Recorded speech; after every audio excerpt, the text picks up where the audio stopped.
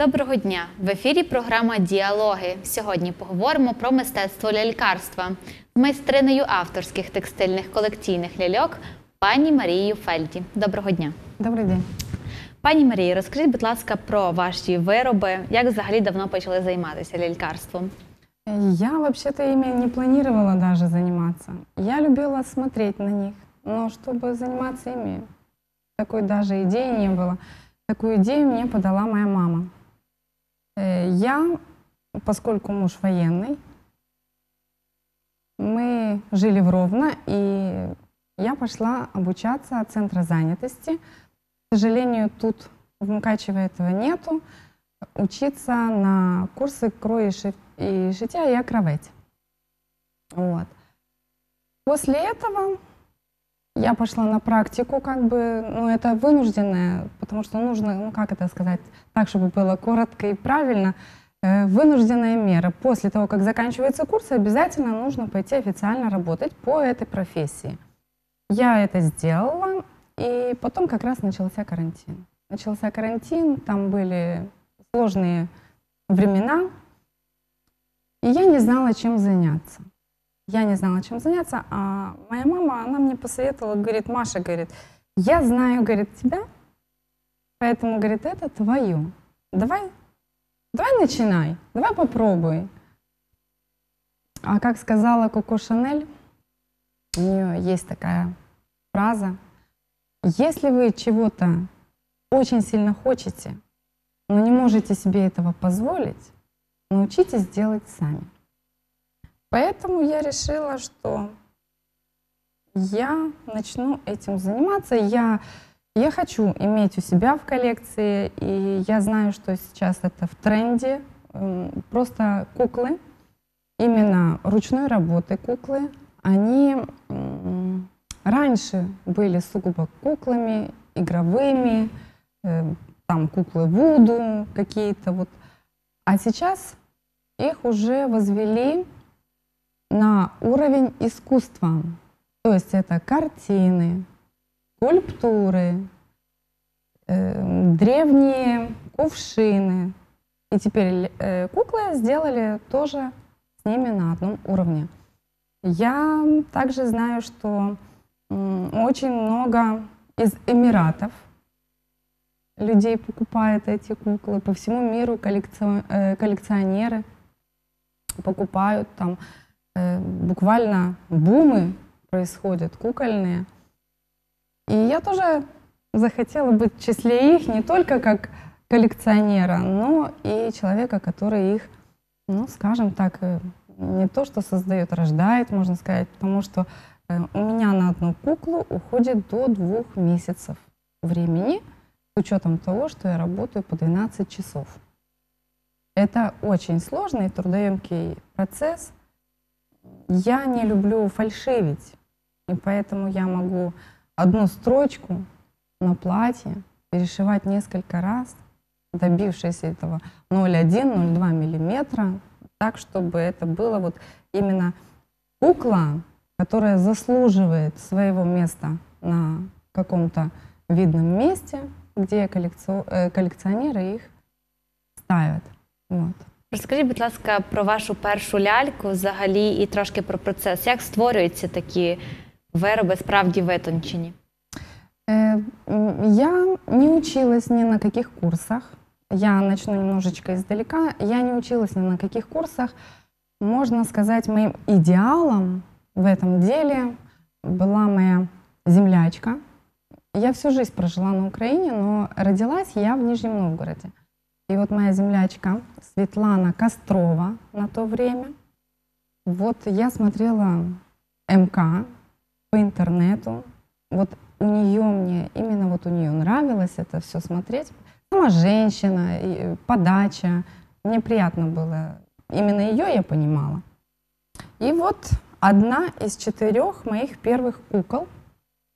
Мой муж назвал ее Настя Евлеева.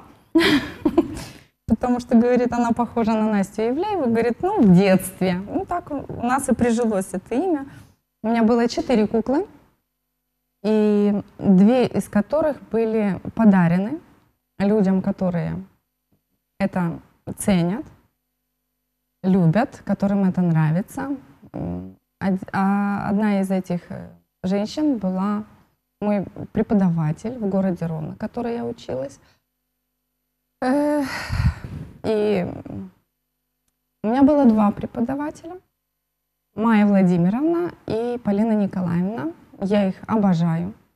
Они прекрасные педагоги.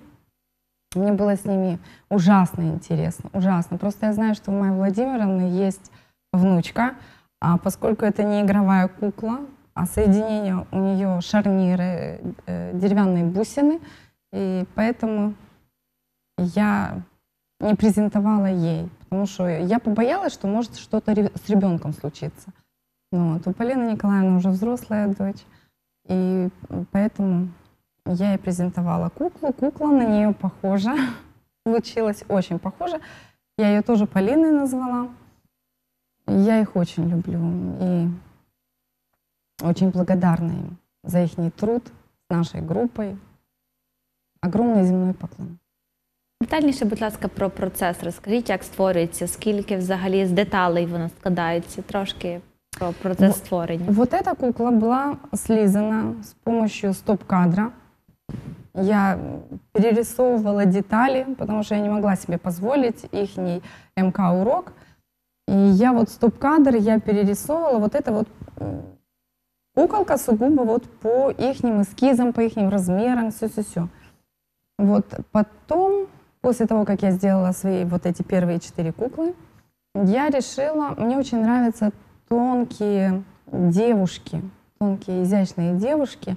И такие куклы, они называются БЖД. Они вот действительно, все части тела у них двигаются, они подвижны, они идеальны.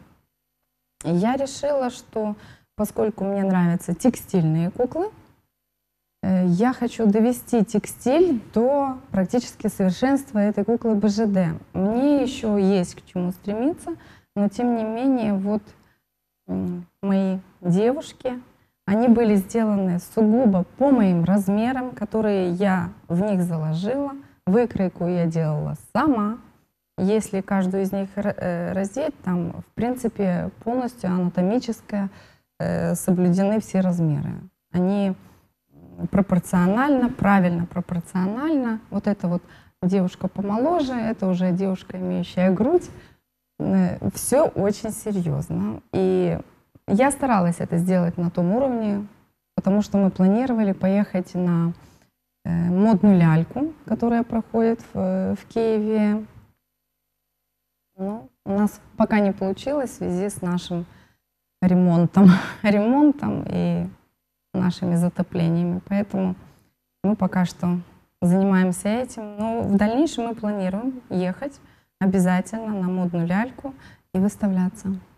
Чим надихаєтеся для створення образів, нарядів своїх ляльок? У меня сейчас идет линия исторических костюмов. Исторических костюмов. Э, И это в каждой кукле, в каждом костюме это присутствует. То есть, если вот эта вот девушка у меня идет, э, у нее платье, я его немножко модернизировала, я сделала ей шлейф, это 1200 год. Время Робин Гуда. Вот. Ну и это уже поновее. Дальше у меня есть и 1600 год, 60-й. То есть они все как бы исторические костюмы у всех. И я стараюсь эти костюмы сделать не просто на вид они исторически выглядят, а способ пошива. э, м, Я нахожу это все в интернете, как создавалось это платье, как детали эти делались. И я, то есть сам процесс пошива у меня идет как э, шили их в то время. Взагалі, звідки берете ідеї? Чому саме історичні образи Сукні для ваших ляльок? Я не знаю.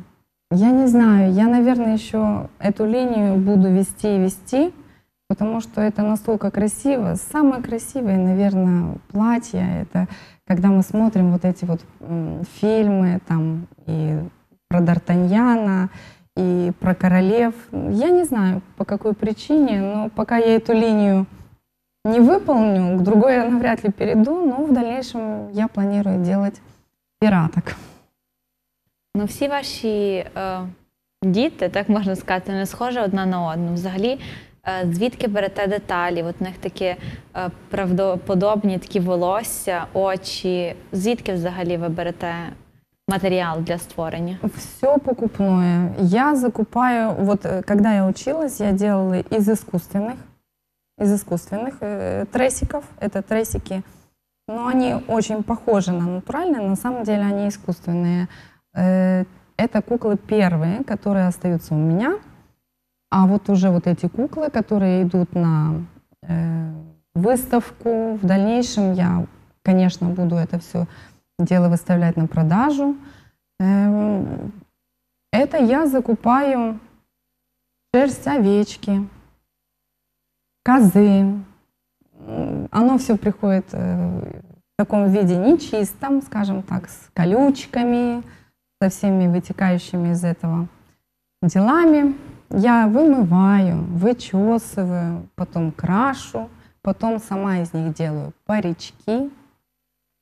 То есть это создается э, не просто сам образ. В одном образе я выступаю и как художник, и как э, швея, и как, э, м, как это сказать, э, парикмахер, в- и как обувщик, потому что я делаю каждой куколке туфельки, украшаю их по-разному. В общем, я одна, но нас много. Скажіть, будь ласка, про етапи створення. Взагалі, скільки йде часу і в яку ціну вам обходиться? Это очень дорогостоящее удовольствие. Если сказать, что я хочу научиться делать куклы, можно научиться делать куклу-мотанку, например. Это будет дешевле, есть тильды. Их огромное количество разнообразия этих кукол. Вот тильду можно сделать, не тратя на них много финансов, но чтобы делать такие куклы, это очень дорого. Вот, допустим, у Ирис, я, у каждой куклы есть свое имя, вот это у меня Асоль, почему-то вот я ее так вижу. Это у меня Ирис, вот на нижнее белье Ирис ушло 2 метра батиста купона. То есть для того, чтобы это было красиво, это надо и подбирать рисунок, и это только на нижнее белье, на нижнюю рубашку. Э, Все платья у меня идут на подкладах, там нету швов. Ну, я не постесняюсь сказать, что все идеально. Коли краще вам твориться? Ввечері, вдень? Коли приходить натхнення та чим надихаєтеся? У меня этого нету. У меня нету утра, вечера. У меня это постоянная зависимость. Я этим могу заниматься, и, начиная, с- ну, как я и делаю с утра и до ночи. М, Стыдно сказать, но для того, чтобы покушать, мне муж должен напомнить, что уже время. Ну, От ви так натхненно розповідаєте про своїх ляльок і зазначили, що плануєте їх продавати. Чи не важко вам буде з ними розставатися, прощатися? Э, Понимаете, мы с ними договариваемся. А каждая из них, она уже знает свою участь, свою судьбу. Мы с ними договариваемся. Куклы, они не есть простые создания. Это не мишка, это не котик, это э, человекообразный образ. И в процессе даже рисования лица я хочу нарисовать губы бантиком, я хочу нарисовать губы пухленькие. Нет, я нарисую сугубо так, как хочет этого она. Единственное, с чем они соглашаются, это вот я предлагаю им, у тебя будет такое платье, она согласна. И это видно, это сложно понять, но я думаю, те люди, которые этим занимаются, они очень хорошо мне. Ви розповідаєте про них як про живих Так и людей, есть. маленьких дівчат. Да. Як ви їх відчуваєте? Розкажіть, будь ласка, трошки про це. М, Ну, Вы- это на уровне какого-то фантастического биополя, наверное, скажем так. Они ж не умеют разговаривать, они умеют слушать. Но когда ты смотришь на них, такое впечатление, как будто у тебя в голове звучит их ответы. И иной раз вот так вот м, одеваешь ее, вот э, сидит она, проходишь, лишний раз на нее посмотришь, такое впечатление, что она за тобой глазами следит. Розкажіть, будь ласка, про свої творчі мрії. Які у вас плани на майбутнє? Взагалі, як плануєте надалі розвиватися в цій галузі? Эм, Ну, муж мне пообещал, что у меня будет своя мастерская. Э, Потом по окончанию ремонта, куда я вас и приглашаю, потому что тут я принесла только двух взрослых девочек и вот одна маленькая. А Там уже в мастерской я вам покажу, э, сколько у меня их есть. Ну, это процесс длительный, поскольку это до двух месяцев доходит на одну куклу, то в год я их могу сделать не так уж и много. И, соответственно, стоимость у них соответствующая. Но дело в том, что в дальнейшем я уже хочу ездить. Я хочу ездить, я хочу ездить э, на, на все выставки, которые я смогу попасть, на которые я смогу попасть, потому что когда человек творит дома, э, с интернетом, со своими мыслями, ему постоянно нужно подпитываться. Як називаєте, як обираєте ім'я для своєї ляльки? Ну, когда готов полностью образ, я по ихнему времени, по образу ихнего, я подбираю подходящие имена, которые используюсь в то время. И я называю имя вслух, я его проговариваю, я его слышу. Услышит, конечно, и она. И вот какое-то имя обязательно она себе присваивает. Это интуиция. Дякую. І що наостанок побажаєте нашим глядачам? Э, Я желаю вдохновения. Я желаю позитивных, добрых эмоций. Чего-то вот такого солнечного. Если мы сами себе не будем помогать, нам никто не поможет. Поэтому надо настраиваться на что-то хорошее, надо обучаться, надо стремиться к этому, если есть особенно желание.